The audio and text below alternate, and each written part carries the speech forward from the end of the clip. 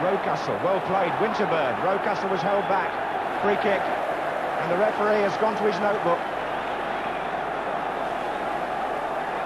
Pearce protests.